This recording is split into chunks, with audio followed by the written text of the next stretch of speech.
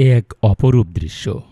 ঢাকা শহরের একটি আবাসিক এলাকার পাশ দিয়ে বয়ে গিয়েছে এই ফ্লাইওভারটি। দেখে আপনাদের কাছে হয়তো অনেকটা অপরিচিত হলেও এটি কিন্তু আমাদের ঢাকা শহরেরই একটি এলাকা।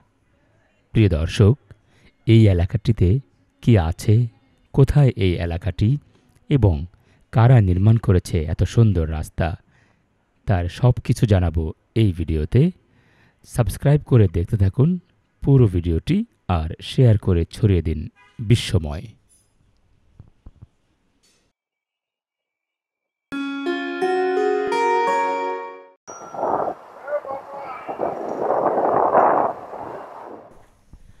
আসসালামু আলাইকুম। নতুন আরও একটি ভিডিওতে স্বাগত জানাচ্ছি মুভিং বাংলাদেশের পক্ষ থেকে। প্রিয় দর্শক, এই জায়গাটি কোথায় আপনাদেরকে আমি জানাব? তার আগে বলে নিচ্ছি যে এত সুন্দর জায়গা, খোলামেলা রাস্তা, পরিষ্কার, পরিচ্ছন্ন, বিশাল বিশাল ভবন, গাছপালা, প্রকৃতিতে ঘেরা যে আবাসিক এলাকা থেকে আমি বের হলাম, সেই আবাসিক এলাকাটি এর আগের একটি ভিডিওতে আমি দেখিয়েছি, সেটি হলো মিরপুর ডিওএইচএস সেই মিরপুর ডিওএইচএস থেকে এই ফ্লাইওভারটি উঠে কালশি মোড়ের উপর দিয়ে চলে গিয়েছে ইসিবি চত্বরের দিকে। হ্যাঁ প্রিয় দর্শক, এই ফ্লাইওভারটি হলো কালশি ফ্লাইওভার। আপনারা দেখুন, এত সুন্দর এক নজরে কিছুক্ষণের জন্য হারিয়ে যেতে হবে সৌন্দর্যের এক অপরূপ দৃশ্যে, যা দেখে মনে হবে যে কিছুক্ষণের জন্য হয়তো বা আমি কোথায় আছি ভুলেই যাব। প্রিয় বন্ধুরা, ডান পাশে এগুলো আবাসিক এলাকা, আবাসিক ভবন নতুন হয়েছে। আর বাম পাশে যে ভবনটি দেখতে পাচ্ছি একটি ভবন, এক জায়গায় এটি হলো পল্লবী মডেল থানা। অনেকেই মিরপুরে যে পল্লবী থানা আছে সেটি চিনেন না, এটি হলো পল্লবী থানা। এই জায়গাটিকে আরেকটি নাম বলে রিক্সাওয়ালারা চিনে, সেটি হলো ইসিবি ক্যান্টিন। যখন এই ফ্লাইওভার ছিল না, এখানে থানাটিও ছিল না, তখন এই জায়গাটিকে ইসিবি ক্যান্টিন বললে সবাই চিনত, এখনও অনেকে চিনে থাকবেন। ডান পাশের এই মহল্লাটি হলো মিরপুর বারো নম্বর ডি ব্লক বা কালাপানি। আর এই যে হলুদ যে ভবনটি যাচ্ছে, এই যে ডান পাশে চলে গেল, এটি হলো গার্মেন্টসের গলি। বারো নম্বর, এই গার্মেন্টসের গলি বললে এই রাস্তাটি সবাই চিনে থাকেন। আর বাম পাশে এখানে একটি বস্তি রয়েছে কালশি বস্তি। তার পিছনেই হলো ওই যে পল্লবী থানার যে পিছনের এলাকাটি, এটি হলো সাগুপ্তা। হ্যাঁ ওই ইসিবি ক্যান্টিনের ওই জায়গাটিকে সাগুপ্তা বললেও কিন্তু চিনে থাকবেন। সাগুপ্তা ইসিবি ক্যান্টিন অথবা পল্লবী থানা একই জায়গায়।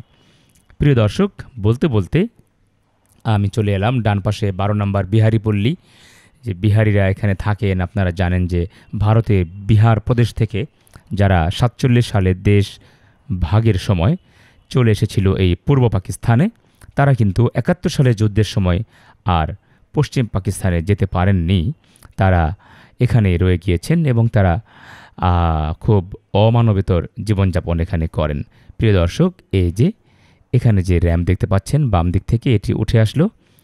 আর এই যে বাম দিকে টার্ন করেই সোজা চলে যেতে হবে ইসিবি চত্বরের দিকে। প্রিয় বন্ধুরা, এই কালশি ফ্লাইওভারটি আপনাদের কাছে কেমন লেগেছে অবশ্যই কমেন্টে জানাবেন। আর যারা আমার চ্যানেলে নতুন, তারা সাবস্ক্রাইব করবেন। প্রিয় দর্শক, দেখতে থাকুন মুভিং বাংলাদেশ আর শেয়ার করে অন্যদেরকে দেখার সুযোগ করে দিন যাতে বিশ্বময় বাংলাদেশের এই সৌন্দর্য দেখতে পারে।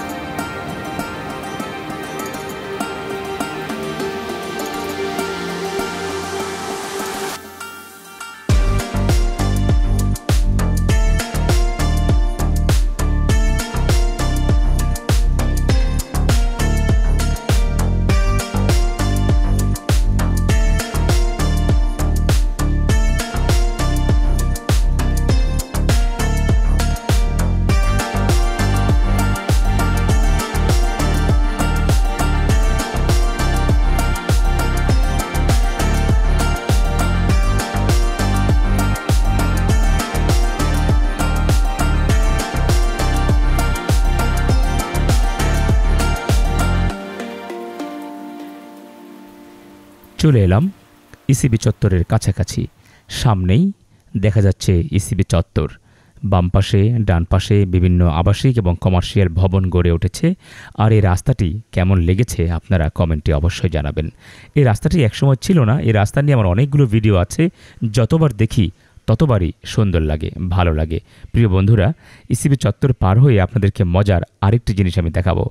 আরেকটি flyover, cantonment flyover. ECB cantonment flyover, যেটি ইসিবি চত্বর থেকে ক্যান্টনমেন্টের উপর দিয়ে একদম কর্মীটোলা হাসপাতালের দিকে, উত্তরার দিকে চলে গিয়েছে একটি র্যাম্প, আরেকটি বনানীর দিকে চলে গিয়েছে। প্রিয় দর্শক, সেই ইসিবি ক্যান্টনমেন্টের ফ্লাইওভারটিও দেখতে পারবেন। এই যে ইসিবি মোড়, এই ইসিবি মোড়টি পার হওয়ার পরেই আশা করি পুরো ভিডিওটি আপনারা দেখবেন এবং উপভোগ করবেন এই রাস্তার সুন্দর সুন্দর দৃশ্যগুলো।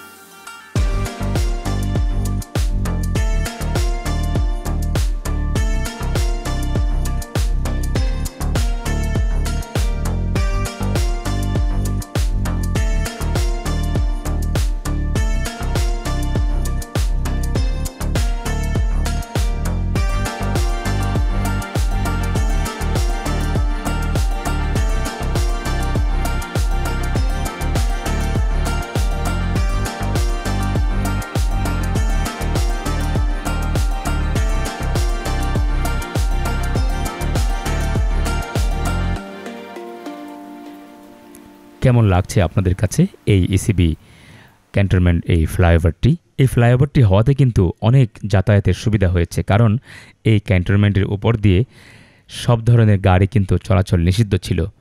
যার কারণে আমরা এই রাস্তায় আসতে পারতাম না। সাধারণ পরিবহন। এই ফ্লাইওভারটি করে দেওয়ার ফলে খুব অনায়াসেই, অল্প সময়েই উত্তরা থেকে, গুলশান থেকে, বনানী থেকে মিরপুরে ঢোকা যায় এই ফ্লাইওভার ব্যবহার করে।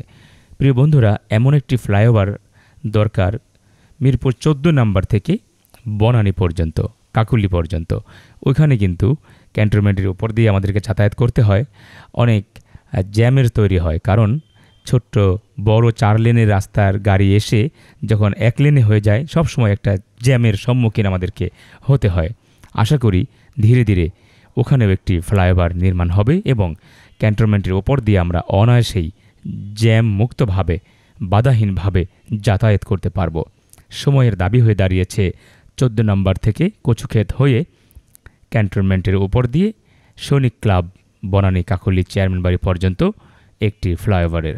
প্রিয় দর্শক, ডান পাশে হোটেল রেডিসন এবং বাম দিকে ঘুরে গেলাম জিয়া কলোনি এবং জিয়া কলোনির নিচ দিয়েই এই যে এই ফ্লাইওভারের নিচ দিয়েই আমাদেরকে যেতে হবে বনানীর দিকে। আমি আপনাদেরকে আর বেশি দূর নিয়ে যেতে পারব না। এই ভিডিওটি এখানে শেষ করব। পরবর্তী কোনো ভিডিওতে আপনাদেরকে আমি দেখানোর চেষ্টা করব এর পরের অংশগুলো। এখানে দেখুন যে রাস্তার মাঝ বরাবরই অনেকটা বলা যায় যে বাস থামছে, যাত্রী নামছে, উঠছে। সামনে কিন্তু একটি যাত্রী ছাউনি, ওই যে হলুদ গাড়িটা যে আছে, এখানে যাত্রী ছাউনি আছে। বাম দিকে দেখুন যেখানে বাস থামার জায়গা। এটিও কিন্তু আরেকটু পিছনে থামানো দরকার ছিল। এই যে আমি একটু ব্রেক করে ওনাদেরকে নামার সুযোগ করে দিলাম। প্রিয় বন্ধুরা, রাস্তায় ভালোভাবে চলবো, খেয়াল রাখব ডানে, বামে, সামনে, পিছনে এবং নিয়মকানুন মেনে চলবো। এই প্রত্যাশায় শেষ করছি। আমার আজকের এই ভিডিওটি সবাই ভালো থাকবেন সাবস্ক্রাইব করবেন। আল্লাহ হাফেজ। আসসালামু আলাইকুম।